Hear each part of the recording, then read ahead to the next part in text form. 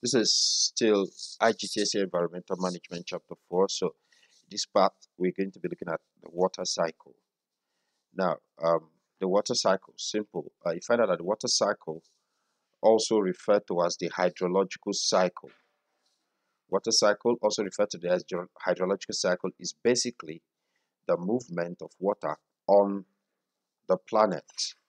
Now, it involves movement of water uh, on the planet. So the way water circulates from the atmosphere to the earth surface back to the atmosphere is just simply the water cycle. So on the surface of the earth, you have surface flow. Above the earth, above the surface of the earth, you have evaporation and precipitation taking place.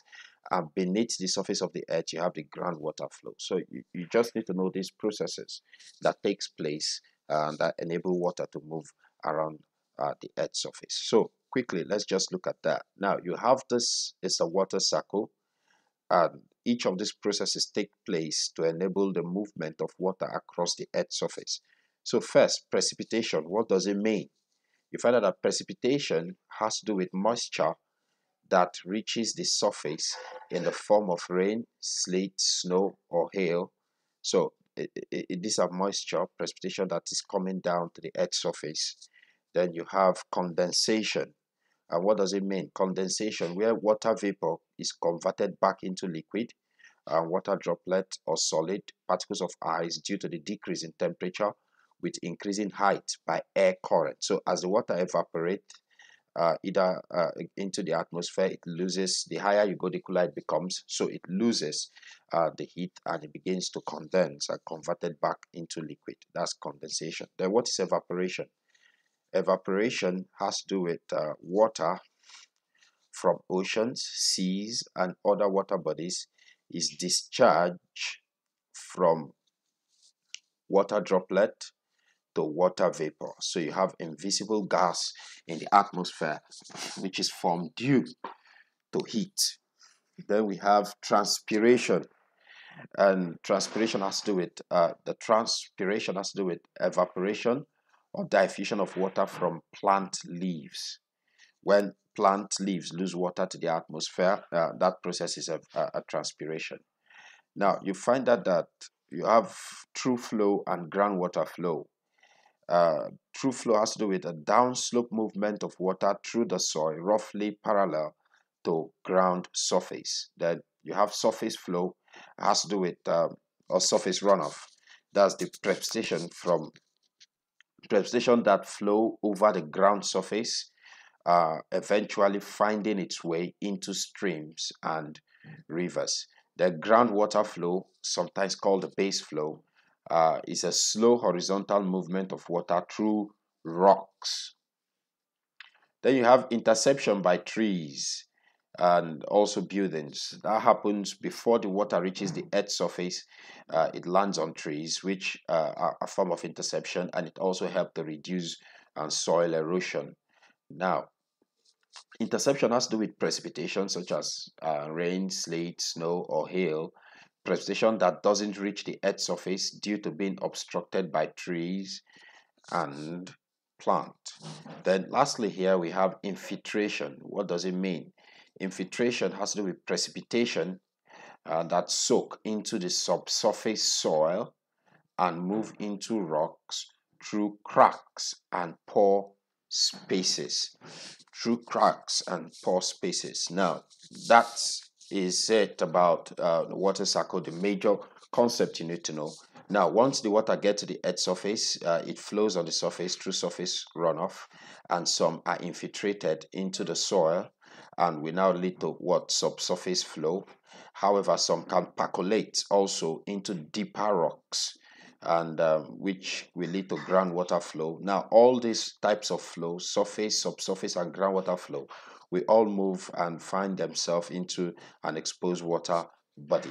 Now, this can now lead to what? Evaporation from heat from the sun. We cause this water to evaporate and um, from plant also they will evaporate back into the atmosphere in the form of water vapor the water vapor will now condenses and lose heat uh, because the higher you go the cooler it becomes um, to condense and form back tiny droplets of water which will now come back to the earth surface in the form of precipitation. Now, I have a question here. This, uh, let's just look at it quickly because this, this part is quite short.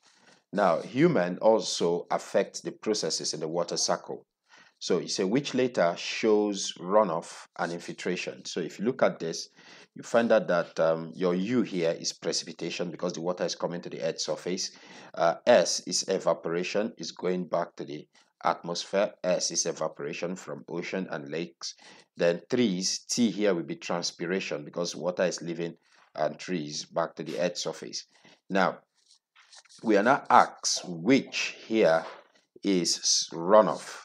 So we, we are not told if it is subsurface or surface runoff or but from here you find out that what is happening at W is infiltration because the water is going down into the soil to cause uh, once it get down it will now lead to what subsurface runoff. So S V here sorry uh, the water is being intercepted by trees but however it lands to the earth surface and flows into lakes and also flows into from lakes rivers rivers back to the ocean so the answer to this question here is V is runoff, while W will be infiltration. Okay, this is still part of other question. So let's see. They said um, you have a bar graph here and you have a data here. They say using the information in the table, which is this and the bar graph, and your own knowledge, explain how and why humans affect runoff of water. Now, if you look at this, they said uh, these are land use by humans. So you have dense forest cover. Now, if there is a dense forest cover, you expect that there will be high rate of uh, interception. So you find out that the rate of runoff will be low. So you find out runoff as a percentage of total precipitation is only 2. Then where you have scattered trees and grasses, 14. Then where you have urban areas and bare surfaces, you find that the rate of runoff is high within this, this path. So you find out that uh, the first question here is for you to complete this graph of bare surfaces. Now this is runoff as a total percentage. So if you want to complete that, it's 85. So we have 80, 100. So um, in between you have 10. So at, at 5 here, that will be 90. So if you're looking at 85, it will be somewhere here at the middle. So uh, here they've already given you uh, space. So you just find um, you have five in between. So I have one two three four five. So I'm looking at from here. Um, one two three four five. So you're looking from here also. So just draw your line. Sorry mine is not straight. 80 85 maybe somewhere here.